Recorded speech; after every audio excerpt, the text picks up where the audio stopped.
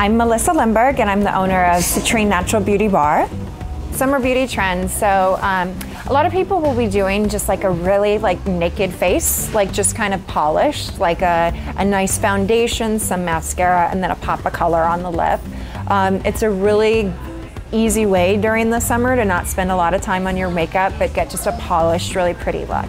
One of the things you can do to help um, keep your makeup on all day is going to be primer.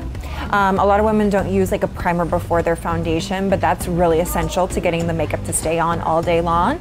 Or if you do have like a more oily to combination skin, setting the makeup with like a powder, um, and that'll help keep it in place for all day long too for you. For SPF, we carry a brand called Coola, um, which I really love because it, it, contains good for you skin nourishing ingredients, plus it's organic and you've got SPF in there. Um, for people that have sensitive skin, I always try to recommend a mineral sunscreen, and that's going to be our most effective.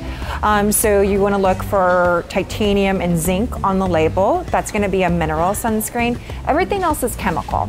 So beyond chemical not being good for you and being something that could not be so great for your health, it's not even effective when you walk outside with it unless you've had it on for 30 to 40 minutes. So you're not even getting protection yet, and a lot of people don't realize that, especially in a place like Arizona where it's so sunny and we walk outside.